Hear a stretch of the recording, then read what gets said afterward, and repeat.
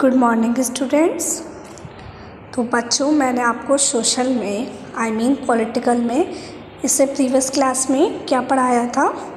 तो इससे previous class में हमने अफ्रीकन अमेरिकन्स के बारे में पढ़ा था। अफ्रीकन अमेरिकन्स कौन थे? अफ्रीकन अमेरिकन्स वो अमेरिकन्स वो अफ्रीकन्स थे जो अब क्या हो गए थे?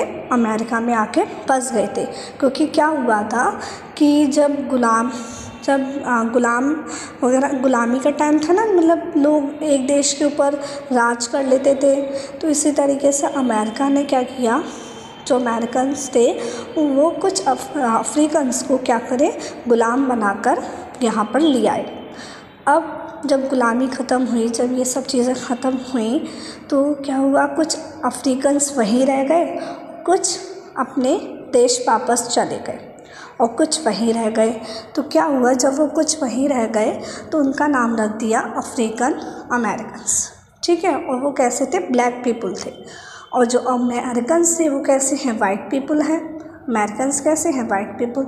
तो जो वाइट पीपल थे, वो क्या करते थे? ब्लैक पीपल के साथ अनइक्वली उन्हें ट्रीट करते थे। उनके साथ बहुत ही बेकार बिहेवियर करते थे, उनके साथ उनको कोई भी राइट नहीं देते थे और उनको उनको बिना बात के, उनको मारते थे। बिना बात के मतलब कुछ भी इश्यूज़ क्रिएट कर लेते थे वो।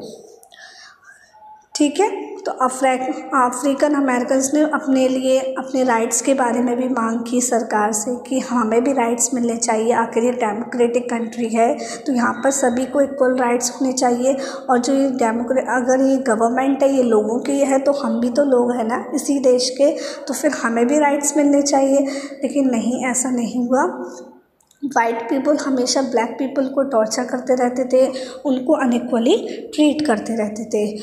और जब वो जब वो लॉ की अपने राइट्स की, अपने कानून की, कानून के थ्रू अपने राइट्स की बात करते थे तो उनको वो नहीं देते थे।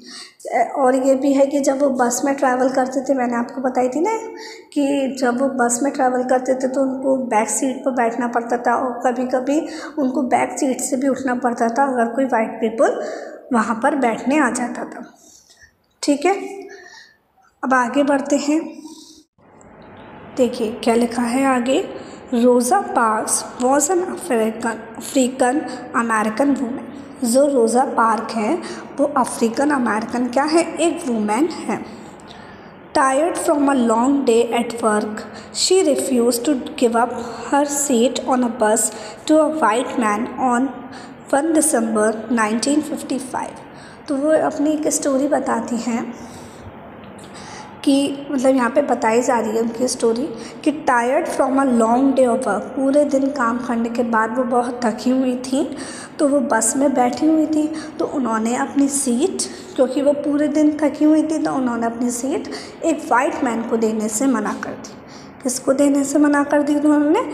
वाइट मैन को देने से मना कर दी कब? On December on one December 1955 को। ठीक है? Her refusal that day started a huge agitation against the unequal wage in which African Americans were तो ये बताते हैं कि उनका मना करना, उनका मना करना सीट का उनका मना करना इसने क्या कर दिया? उस दिन से, उस दिन से क्या हुआ? बहुत ही एक ह्यूज लड़ाई चालू हो गई। किसने कर दी? अफ्रीकन अमेरिकन्स ने अपने राइट्स के प्रति चालू कर दिया, आंदोलन चालू कर दिया कि हमें भी अपने राइट्स वापस चाहिए। हम भी अपने राइट्स चाहते हैं, क्या हुआ, हमारे पूर्वज गुलाम थे, लेकिन अब तो हम आज़ाद हैं ना। अब तो हम एक डेमोक्रेटिक कंट्री में रहते हैं। जब हम एक डेमोक्रेटिक कंट्री में रहते हैं तो जो राइट्स और लोगों को मिले हुए हैं, जो राइट्स वाइट पीपल को मिले हुए हैं, वो राइट्स ब्लैक पीपल को क्यों नहीं मिलने चाहिए? आगे बढ़ते हैं इसके। Treated and which came to be known as क्या बोला गया उसे? Civil rights movement civil rights movement क्या हुआ? जब ये उन्होंने इस बात के लिए मना किया तो और लोगों के अंदर भी क्या है? उन्होंने बहुत, उनके साथ उस टाइम बहुत उनको अनइक्वली ट्रीट किया गया। सारे लोग वैसे ही गुस्से में थे बस वो ये ढूंढ रहे थे कि उन्हें मौका मिले और मौका मिलते ही वो अपनी राइट्स की मांग करें। तो उन्हें ये मौका मिला और सारे लो, लोगों ने इसके प्रति एक आंदोलन चलाया और जिस आंदोलन का नाम था सिविल राइट्स मूवमेंट क्या नाम है? Civil rights movement the civil rights act of 1964 prohibited discrimination on the basis of race religion or national origin तो क्या हुआ कि उसके बाद एक एक्ट बना, उस एक्ट का नाम है सिविल राइट्स एक्ट। क्या बना? Civil rights act. कब बना 1964 में। उसने ये ख़त्म किया कि जाति के आधार पर, धर्म के आधार पर, या फिर वो कहाँ से ओरिजिन हुए हैं, उनका ओरिजिन क्या है? अभी वो रह रहे हैं कहाँ? उस बात से नहीं उनका ओरिजिन कहाँ है? उस बात से कोई भी भेदभाव नहीं होगा। उन चीज़ों को लेकर कोई भी भेदभाव नहीं होगा। जैसे जो अफ्रीकन अमेरिकन थे वो थे कहाँ के? अफ्रीकन के अफ्रीका के थे ना? कहाँ के थे? अफ्रीका के, के थे। तो जब वो अफ्रीका के थे तो इसके बेस पर कोई भी भेदभाव उनके साथ नहीं किया जाएगा। Schools would it also started stated that all schools would be open to African Americans children and that they would no longer have to attend separate schools especially set up for them और ये भी कहा गया उसमें उस right में ये भी कहा गया कि अब जो सारे जो स्कूल्स हैं वो सारे बच्चों के लिए खोल दिए जाएँगे चाहे वो मतलब जो अफ्रीकन अमेरिकन थे, उनके उनके बच्चों के लिए वो स्कूल्स खोल दिए जाएँगे क्योंकि उनके लिए पहले स्पेशली स्कूल्स थे, अलग स्कूल्स थे, वाइट पीपल के अलग, के लिए, वाइट पीपल के बच्चों के लिए अलग स्कूल्स थे, और ब्लैक पीपल के बच्चों के लिए अलग स्कूल्स थे, लेकिन अब ऐसा नहीं था। अब सारे स्कूल सभी बच्चों के लिए खोल दिए गए थे।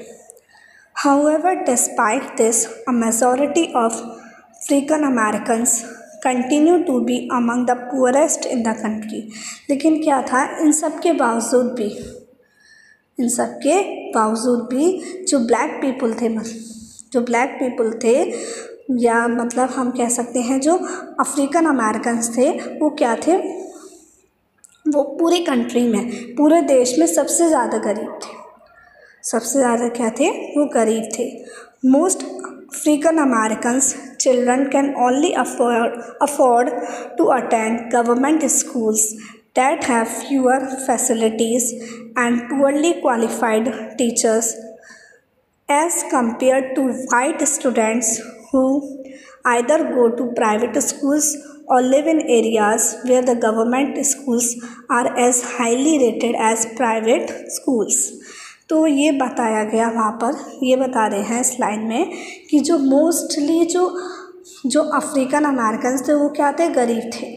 तो जो उनके पेरेंट्स थे, वो उनके बच्चों को, अपने बच्चों को गवर्नमेंट स्कूल्स में ही पढ़ा पाते थे। और ऐसे गवर्नमेंट स्कूल्स में, जहाँ पर ज़्यादा फैसिलिटीज़ नहीं थी, जहाँ पर ज़्यादा अच्छी क्वालिफाइड टीचर्स नहीं थी, बहुत ही कम क्वालिफाइड टीचर्स थी तो वो अपने बच्चों को ज़्यादा अच्छी शिक्षा नहीं दे पा रहे थे because they are poor they were poor ठीक है? लेकिन जो वाइट स्टूडेंट्स थे मतलब जो वाइट पीपल थे जो, जो उनके बच्चे थे वो प्राइवेट स्कूल जाते थे या फिर उन एरियाज़ में जहाँ रहते मतलब उन एरियाज़ में रहते थे जहाँ पर जो गवर्नमेंट एरिया गवर्नमेंट स्कूल्स है वो मोस्टली किसी जैसे है बहुत ही अच्छे हैं क्वालिफाइड टीचर हैं उसके अंदर उस प्राइवेट स्कूल जैसे ही वो हैं। तो लेकिन उन्हें ये हुआ कि उन्हें सिविल राइट्स एक्ट के दौरान उन्हें राइट्स मिल गया कि उनके साथ कोई भी भेदभाव नहीं करेगा। उन्हें सब जगह जाने का अधिकार है। सारे स्कूल्स में वो अपने बच्चों को पढ़ा सकते हैं किसी भी स्कूल में। ठीक है? तो इस तरीके से रोज़ा पार्क्स की वजह से उन्होंने इस आंदोलन को आगे बढ़ाया। बहुत सारे लोग इसमें जुट गए, सारे अफ्रीकन अमेरिकन से इसमें जुट गए और उन्होंने अपने लिए अपने अधिकार के लिए वो लड़े। ठीक है? आई बात समझ में सभी बच्चों को? चलिए, अब आगे बढ़ते हैं। देखिए, क्या है? Except from article 15 of Indian constitution देखिए, जो हमारा इंडियन कॉन्स्टिट्यूशन है, भारतीय जो संविधान है तो उसमें आर्टिकल 15 है तो आर्टिकल 15 में से ये कुछ लिया गया है और कुछ आपको आर्टिकल 15 के बारे में समझाया गया है। देखिए क्या है article 15 provision of provision of discrimination on grounds of religion race caste sex और प्लेस ऑफ़ बर्थ मतलब यहाँ पर यह है कि जो जाति के आधार पर, धर्म के आधार पर, या लिंग के आधार पर, या फिर प्लेस ऑफ़ बर्थ के आधार पर जो भी क्या किया जाता है, भेदभाव किया जाता है, यहाँ पर इस आर्टिकल में बताया गया है कि उस पर भेदा, भेदभाव करना क्या है? निषेध है, मना है। फ़र्स्ट क्या है? The state shall not discriminate against any citizen on grounds only of religion race caste sex place of birth or or any of them तो क्या लिखा है कि जो स्टेट है, जो स्टेट है, वो किसी भी सिटीज़न को क्या करेगी? भेदभाव उसके साथ नहीं करेगी. किसके आधार पर? किसके आधार पर उसके साथ भेदभाव नहीं किया जाएगा? जाति के आधार पर, उसके धर्म के आधार पर, उसके लिंग के आधार पर कि वो स्त्रीलिंग है या पुल्लिंग है कि हमने पुल्लिंग को ज़्यादा राइट्स दे दिए और स्त्रीलिंग को कम राइट्स दिए पुरुष को ज़्यादा राइट्स दे दिए, स्त्रियों को कम राइट्स दिए तो इस तरीक़े का कोई भी भेदभाव किसी भी सिटीज़न के साथ नहीं होना चाहिए। No citizen shall on grounds only of religion race caste sex place of birth or any of them be subject to any disability liability restriction or condition with regard to क्या है? किसी भी citizens को, उसके जाति के आधार पर, उसके धर्म के आधार पर, उसके लिंग के आधार पर किस चीज़ों के लिए मना नहीं करनी चाहिए? मना नहीं होगी। Access to shops public restaurants hotels and places of public entertainment. मतलब उनके सभी धर्म के लोगों को, सभी जाति के लोगों को, चाहे वो स्त्रीलिंग है, चाहे वो पुरलिंग है, चाहे किसी भी लिंग के हैं या फिर किसी भी उनका प्लेस ऑफ़ बर्थ कोई भी है जन्म प्लेस ऑफ़ बर्थ मतलब जो उनकी जन्मभूमि है जहाँ से वो उन्होंने जन्म लिया है।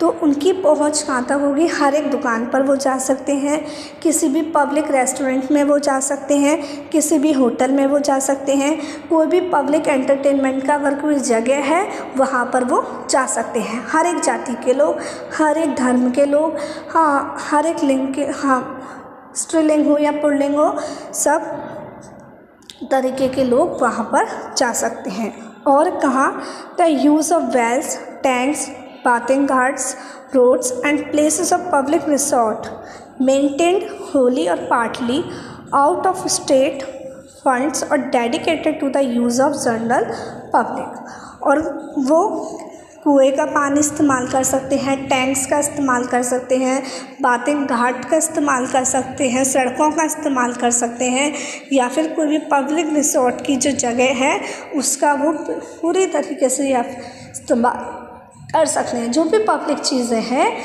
हर एक पर्सन उस कंट्री का, उस कंट्री का, हर एक सिटीज़न उस जगह का इस्तेमाल कर सकता है। तो ये बात बताता है आर्टिकल फिफ्टीन ठीक है? तो हम ये कह सकते हैं कि आर्टिकल फिफ्टीन के तहत कोई भी पर्सन कोई भी सिटीज़न के साथ भेदभाव नहीं किया जा सकता। ठीक है? और अगर ऐसा भेदभाव उसके साथ किया जाता है तो वो कोर्ट जा सकते हैं और शिकायत दर्ज कर सकते हैं। आई बात समझ में? चलिए, अब आगे बढ़ते हैं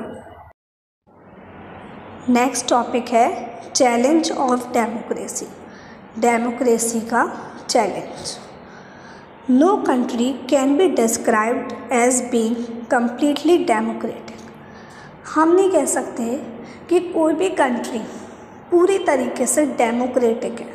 क्योंकि देखो डेमोक्रेटिक का मतलब मैंने आपको बताया था डेमोक्रेसी का मतलब होता है कि डेमोक्रेसी होता है कि एक ऐसी सरकार जो लोगों के लिए हो, लोगों के द्वारा हो और लोगों के लिए ही काम करे।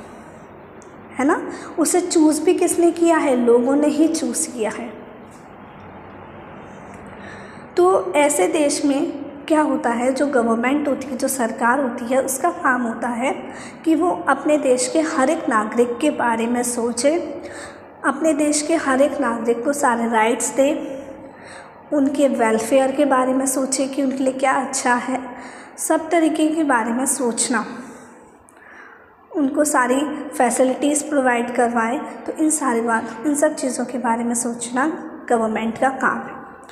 तो कोई भी कंट्री पूरी तरीके से हम नहीं कह सकते कि वो पूरी तरीके से डेमोक्रेटिक है, क्योंकि हमने पढ़ा कि बहुत सारी डेमोक्रेटिक कंट्री में अभी भी इक्वलिटी को लेकर इश्यूज़ चल रहे हैं। क्योंकि हम कानून चेंज कर सकते हैं, कानून की नज़र में सब बराबर है, लेकिन लोगों की नज़र में क्या है? जो हाई पीपल है, जो हाई कास्ट को बिलोंग करते हैं, वो लो कास्ट के लोगों को क्या मानते हैं? छोटा मानते हैं इन्फीरियर मानते हैं? There are always communities and individuals trying to expand the idea of democracy and push for a greater recognition of equality on existing as well as new issues. क्योंकि देखो क्या होता है वो पूरी तरीके से कंप्लीट क्यों नहीं हो पा रही है क्योंकि हमारे क्योंकि क्या है ना कि डेमोक्रेसी से हमने एक्सपेक्ट हमारी ज़्यादा है डेमोक्रेसी से जो एक्सपेक्टेशन है वो क्या है ज़्यादा है कुछ ऐसे कम्युनिटीज़ होती हैं जो हमेशा डेमोक्रेटिक डेमोक्रेसी को, उसके आइडिया को एक्सपांड करने की कोशिश करती रहती हैं कि अब हमें थोड़ी सी इक्वलिटी मिल गई तो अब हमें और अच्छे से इक्वलिटी मिलनी चाहिए। अब हमें और अच्छे से मिल गई तो अब हमें और अच्छे से मिलनी चाहिए। तो इस तरीके से हमारे डिमांड्स बढ़ती जाती हैं। तो जब डिमांड्स बढ़ती जाती हैं तो अब क्या है? हमें इक्वलिटी मिल गई तो वो और ग्रेटर इक्वलिटी के लिए पुश करेंगे। हमें इक्वलिटी मिल गई तो अब वो डेमोक्रेसी डेमोक्रेसी को और इक्वलिटी के लिए पुश करेंगे तो इससे क्या है कि डेमोक्रेसी के लिए चैलेंजेस बढ़ते चले जाएँगे, क्योंकि हमारी एक्सपेक्टेशन उससे ख़त्म होंगी नहीं और हम उसको एक्सपांड करते चले जाएँगे तो वो कंप्लीट कभी होगी नहीं this is the struggle for the recognition of all persons are equal and for dignity to dignity to be maintained. मतलब अभी भी सारे लोग इक्वल हैं और या फिर सारे लोगों की जो डिग्निटी है, जो उनकी शान है, जो उनकी इज़्ज़त है, उसको मेंटेन रखना। उसके लिए अभी भी क्या चल रहा है? स्ट्रगल चल रहा है। मैंने आपको बताया, अभी भी उसमें इश्यूज़ हैं और ये स्ट्रगल चलता रहेगा चलता रहेगा, क्योंकि कानून बदल जाएँगे और ये भी है ना, हमारी एक्सपेक्ट एक्सपेक्टेशन बढ़ती चली जाती हैं। हम उसको और एक्सपांड करना चाहेंगे। In this book you will read about how this issue of equality affects various experts of our daily life lifes in democratic India तो हमने पढ़ा इस चैप्टर में कि इक्वलिटी का मतलब यही नहीं है कि हमें राइट टू वोट मिल गया। इक्वलिटी बहुत तरीके की है, बहुत बेसिस पर इनक्वलिटी की जाती है। जैसे जाति के आधार पर धर्म के आधार पर आपके प्लेस ऑफ़ बर्थ के आधार पर कि आपका जन्म कहाँ से हुआ है, उसके आधार पर। तो इन सब चीज़ों के आधार पर इक्वलिटी इनक्वलिटी की जाती है असमानता की जाती है तो इसको ख़त्म करने में, इसको ख़त्म करने का स्ट्रगल चल रहा है। As you read this chapter these chapters think about whether the equality of all persons and their being able to maintain their dignity is held तो हमने देखा इस चैप्टर में और भी आप इससे आगे भी जो चैप्टर्स हैं उनमें भी इक्वलिटी के बारे में पढ़ेंगे और अच्छे से समझेंगे और ये आ, हमें पता चलेगा कि किस तरीके से सारे लोगों की इक्वलिटी कि सारे लोग इक्वल है और उनकी डिग्निटी को किस तरीके से मेंटेन किया गया है। ठीक है? तो ये चैप्टर बच्चों, आपका यहीं फिनिश होता है। आई होप आपको चैप्टर समझ में आया होगा। नाउ आज आपका यही वर्क है। पूरा चैप्टर अच्छे से पढ़ेंगे आप। तो बच्चों, ये है चैप्टर वन के क्वेश्चन आंसर्स कितने क्वेश्चन आंसर्स हैं? फाइव आपको इनको इन अपनी नोटबुक में नोट करना है और लर्न करना है। ठीक है? Bye bye